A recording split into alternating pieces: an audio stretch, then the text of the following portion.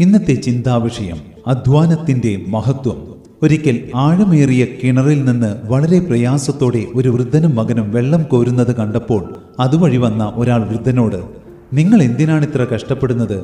കാളയെയും കുതിരയെയും ഉപയോഗിച്ചുകൊണ്ട് കിണറിൽ നിന്ന് വെള്ളം കോരുന്ന വിദ്യ നിങ്ങൾക്കറിയില്ലേ? എന്ന് ചോദിച്ചു.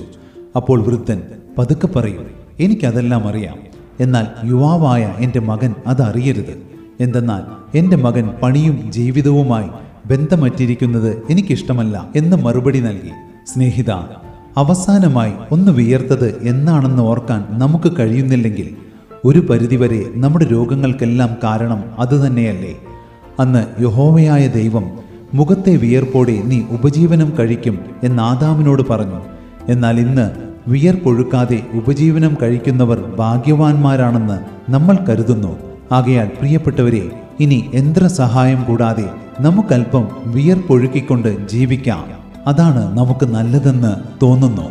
അതെ നിങ്ങളിൽ ആർക്കും ഭാരമായി തീരരുത് എന്ന് വെച്ച് ഞങ്ങൾ അധ്വാനത്തോടും പ്രയാസത്തോടും കൂടെ രാപ്പകൽ വേല ചെയ്തു പോന്നത് അധികാരമില്ലാഞ്ഞിട്ടല്ല.